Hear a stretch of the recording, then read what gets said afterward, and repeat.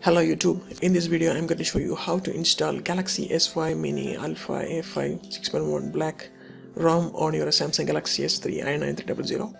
This is the XDA link, you will get this link from the video description below. And the latest version is uh, released in November 14 and the link is here, go here and download the link and you can see I've already downloaded this ROM file so now copy this file to my Note 3 so here you can see I copied this files to my S3 and there is also one bug fix is there so you have to download that one also. Now I'm going to re reboot my system to custom recovery.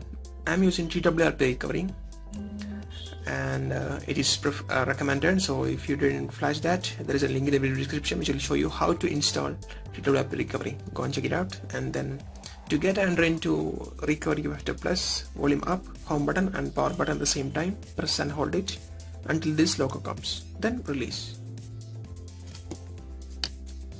So you can see it's loading to TWRP recovery. I'm using the version 2.8 something First you better go and take a Nandroid backup of the current ROM. After that go and wipe a factory reset wipe. And then go back and then go and select install and then browse that downloaded ROM file which I stored in ROMs folder and then here is the alpha a5 black version okay? And flash it to. So here you can see it started showing the aroma installation from where we can customize the installations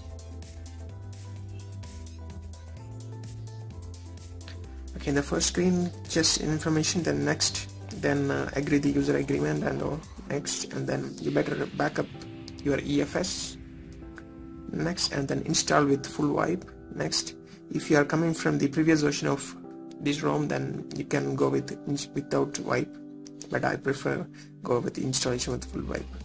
Then install Galaxy Mini L4 and then started installing. It will take some time. So you can see the installation is done. So click next and then turn off this reboot device if you are need to flash some bug fixes. I told you I downloaded this bug fix so now I'm going to select that and then flash it. So it's also completed. Now I'm going to reboot the system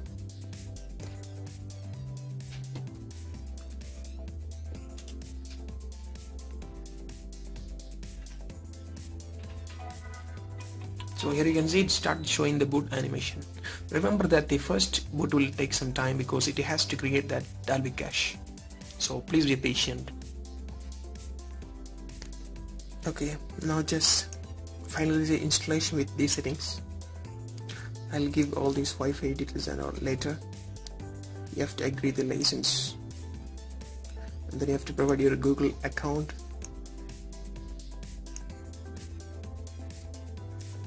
your name. Then Samsung account.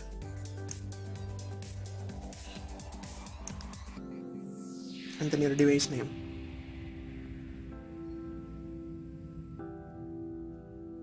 So here you can see you're loaded into a the new ROM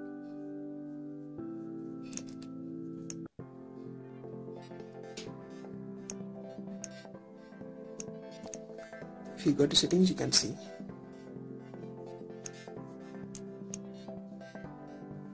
You can see I'm running on a Galaxy S5 Mini Alpha A5 which is based on Android 4.4.4 if you want to see the review of this ROM there is a link in the description which will, which will show you. And uh, that's it. Thanks for watching. Please subscribe for more